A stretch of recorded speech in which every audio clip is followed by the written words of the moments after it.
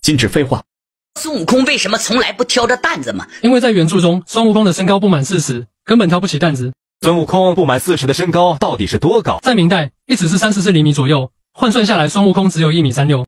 今年五一放几天假？放五天，从四月二十九到五月三号，一共五天。为什么说大学生不刻苦学习涉嫌违法？因为我国高等教育法中第五十三条规定，高等学校的学生应当刻苦学习。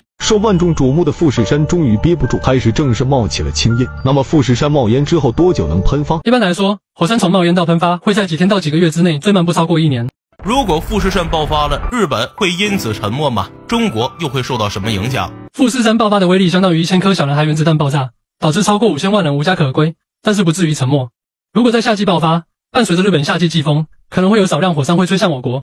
日本天皇为什么都长得又矮又丑，一代更比一代惨？因为他们喜欢近亲结婚，导致生下的小孩经常出现畸形儿还有低能儿。如果没有慈禧，就不会有我们的今天。因为如果没有慈禧的昏庸无道，我们早就是发达国家了，也不会受到那么多的战争。